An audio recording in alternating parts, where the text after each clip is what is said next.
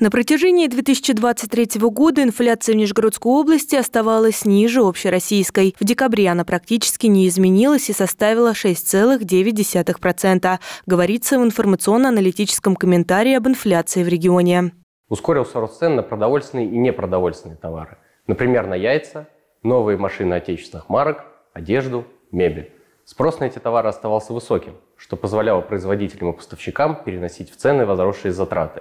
При этом рост цен на продукты питания сдерживало в том числе расширение предложения сахара. В 2023 году отечественные аграрии собрали больше сахарной свеклы, чем годом ранее. Благодаря этому в области замедлился рост цен на сахар. В декабре годовая инфляция в целом по стране составила 7,4%.